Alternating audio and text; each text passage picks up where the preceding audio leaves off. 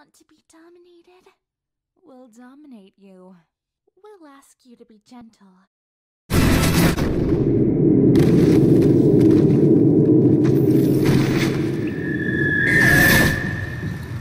Soap trusted you. I thought I could too. So why in bloody hell does Makarov know you?